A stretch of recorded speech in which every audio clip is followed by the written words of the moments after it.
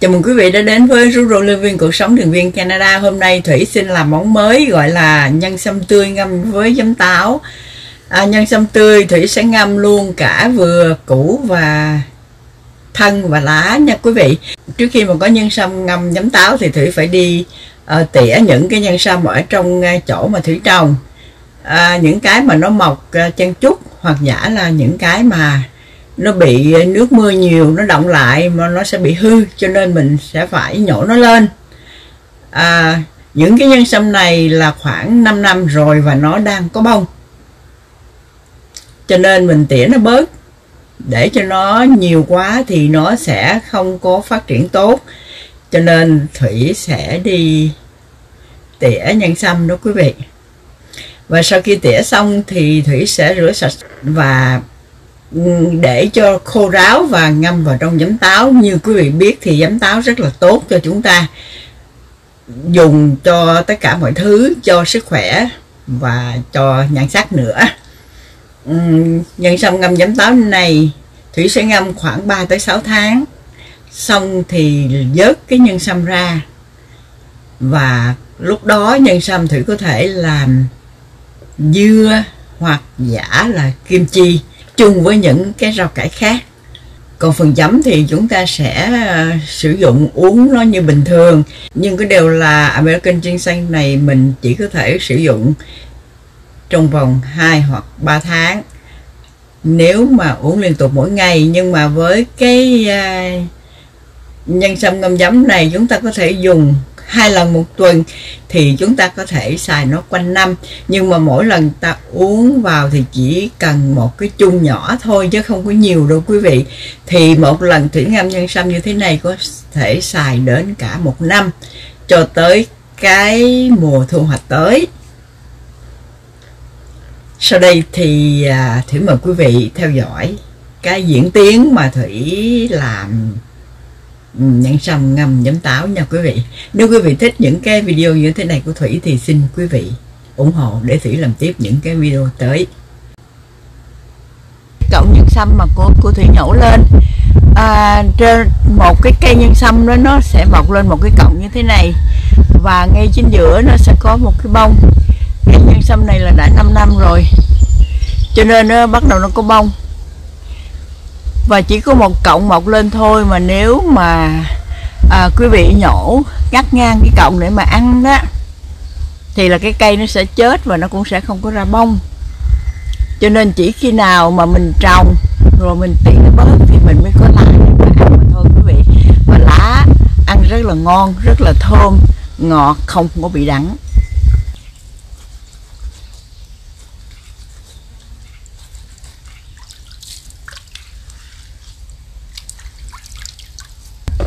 Đây là cái mầm của nhân sâm nó mọc lên và khi nó mọc lên như thế này là còn nguyên cả mầm tươi và khi cái cái mầm này nó mọc lên cao là nó sẽ cho ra lá và ngay chính giữa là có một cái chùm bông. Cho nên mỗi một cây sâm chỉ có một cọng lá đi lên và một cái bông ngay chính giữa. Cho nên không bao giờ quý vị có được lá để ăn. Cho tới lúc mà mùa thu, lá rụi hết, đào xăm lên là lúc đó cũng không có còn lá. Chỉ có khi nào là nhà vườn, trồng nhân sâm mới có lá ăn, lá non để ăn mà thôi.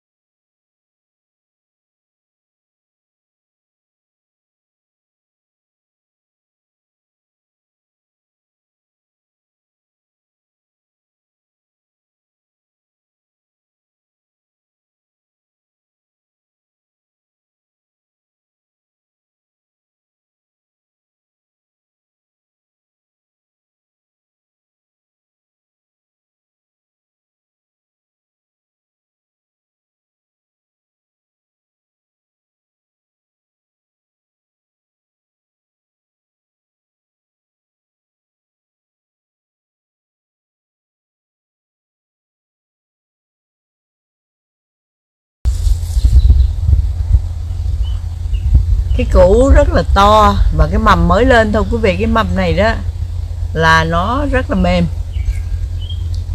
Cho nên khi mà khi mà chiết uh, nhân sâm ra đó thì bệnh lựa những cái nào mà nó lên trễ. Là tại vì những cái lớn nó lên trước rồi đó những cái này nó nó chen lại thành ra nó sẽ mọc chậm hơn. Có thể nó sẽ cái cái bông của nó sẽ không có chín kịp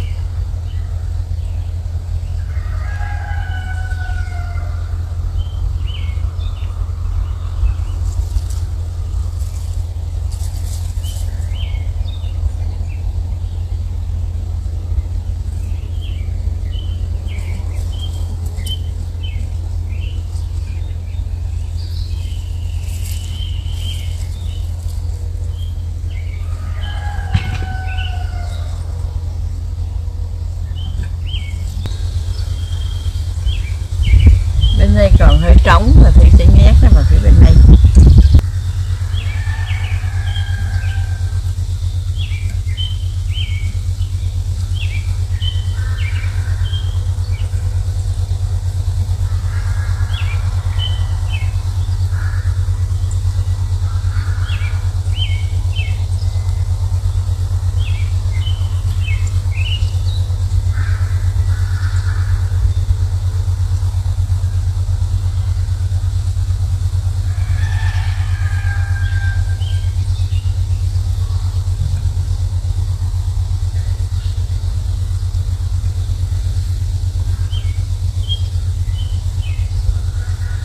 một khoảng trống ở trên này thì sẽ nhét à, nhân sâm vào.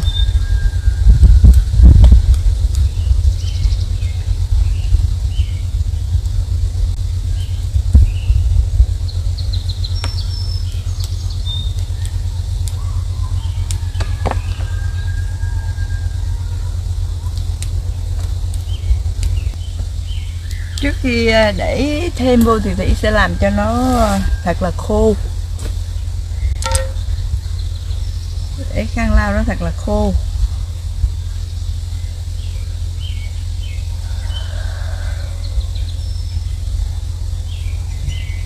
Thủy sẽ làm à, thật là nhiều. Tất cả những cái cái xăm thủy có này do thủy sẽ ngâm giấm hết. Rồi cho đến à, 3 hoặc 6 tháng sau thủy sẽ vớt nó ra, thủy sẽ lượt cái nước giấm ra thường thì nếu mà uống cái ờ, riêng xanh này đó là chỉ uống được có khoảng 2 tháng rồi phải ngưng. Nhưng mà nếu mà mình uống à, một tuần mình uống hai lần thôi thì mình có thể uống quanh năm.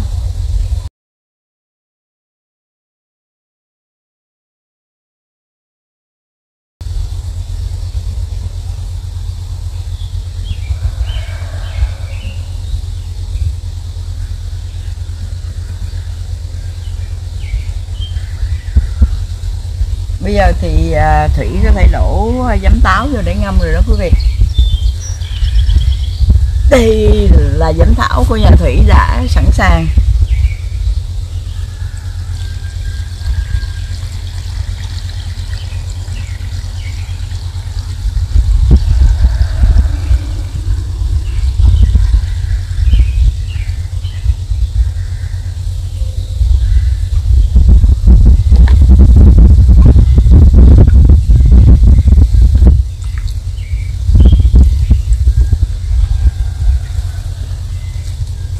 Như thế này thì à, thủy có để có thể để phơi nắng như như thế này.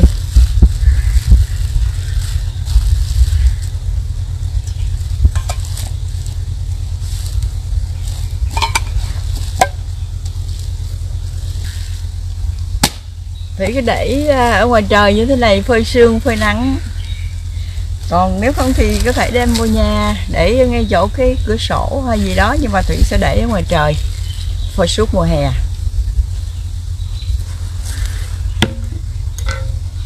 Vậy là thủy có được một cái à, bình. Nhân sâm, ngâm giấm táo. Bây giờ thì đã thủy đã có một bình. Nhân sâm, ngâm giấm táo rồi thì phải chờ tới 3 tháng thì để phơi nắng, phơi sương.